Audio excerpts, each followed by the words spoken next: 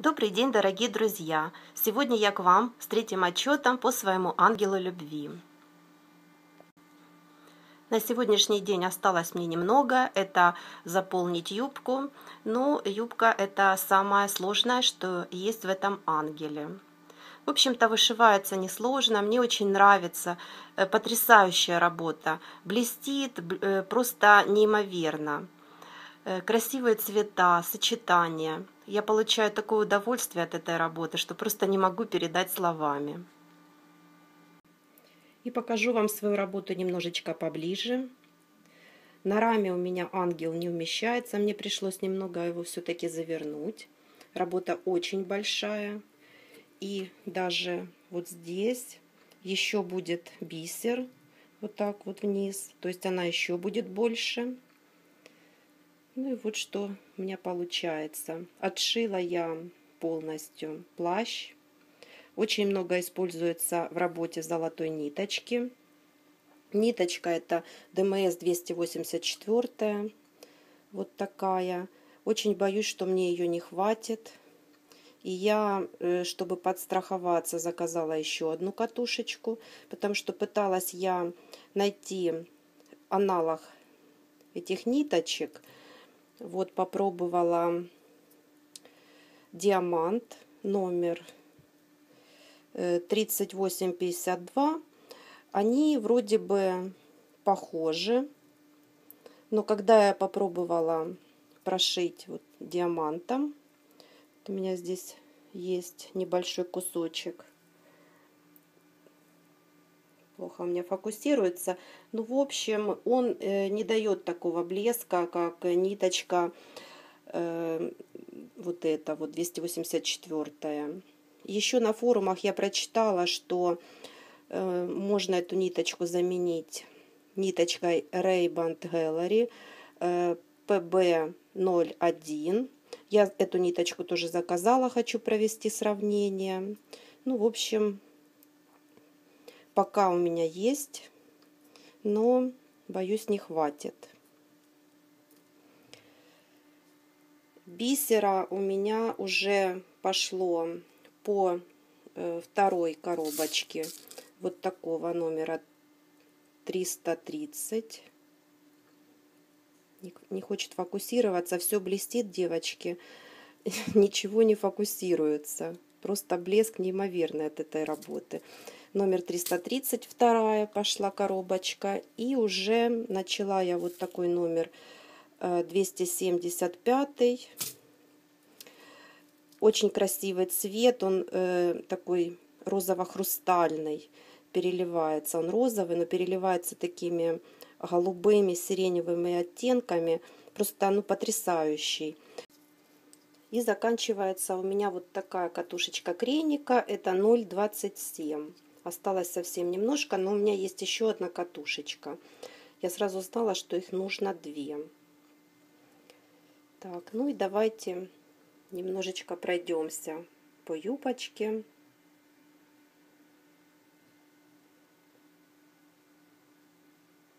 Красивая проработка, очень все красиво подобрано.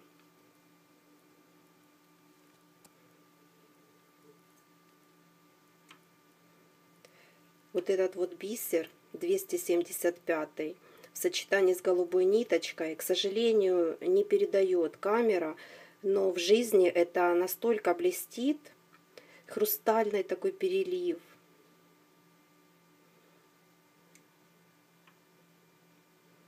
И, кстати сказать, вот этот 275 номер, э, вторую коробочку я открыла, она намного лучше, Э, по качеству, чем была у меня первая коробочка. Очень много откалибровалось у меня этого бисера с первой коробочки, не проходила в ушко иголочка. А со второй коробочки такого у меня нет. То есть бисер весь проходит. И, кстати сказать, вот этот вот номер тоже начала я вторую коробочку и э, получается он ровнее, э, чем вот в первой коробочке был лучше по качеству. Я думаю, может быть, я даже с этой коробочки перешью этот шар этим бисером.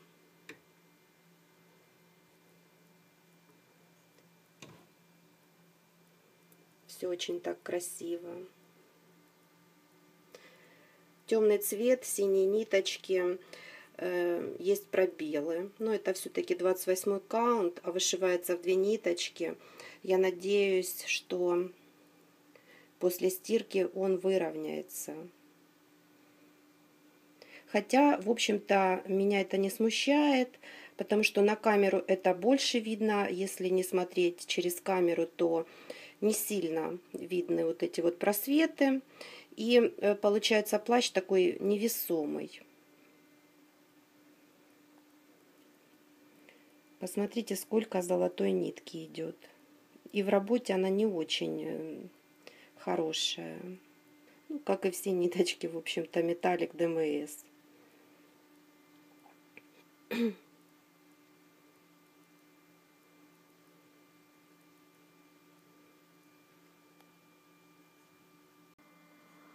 Ну, по ангелу, наверное, на сегодня все. Следующий отчет я покажу уже с готовой работой.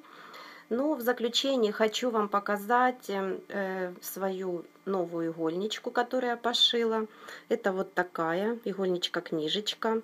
Это дизайн Лизи КТ. Э, купила я вот такой шармик красивый с пчелкой. И закрывается она на вот такую вот прищепочку. Это игольничка-книжечка. Здесь я буду хранить свои иголочки бисерные. Конечно, швея еще та, но пытаюсь, учусь. В серединке у меня такой фетр. С обратной стороны лен. Такой вот. И, в общем, вот такая вот красивая э, книжечка-игольничка у меня получилась. Медовая, пчелиная красивая такая. Вот. И еще одна оформленная работа. Это мой оберег. Оберег с именем Елена. Я оформила вот в такую подушечку. Я вам показывала, как я ее вышивала, какие, изменения я делала в этом обереге. И вот результат уже готовой, оформленной моей работы. Также оформила я свое денежное дерево. Кто подписан на меня в Инстаграм, они уже видели. Я оформила давно эту работу, но видео я вам не показывала. Оформляла я сама, рамку я заказывала в багетной мастерской, а натяжку делала сама. Как-то я побоялась отдать эту работу на натяжку, потому что э, вот эти вот бантики, они Э, бумажные, чтобы мне не повредили. Поэтому вот такой багет. Тоже он такой э, зеленый с патиной. И мне кажется, очень хорошо сочетается. Ну а на сегодня все. Асенька передает всем привет, машет хвостиком. До новых встреч!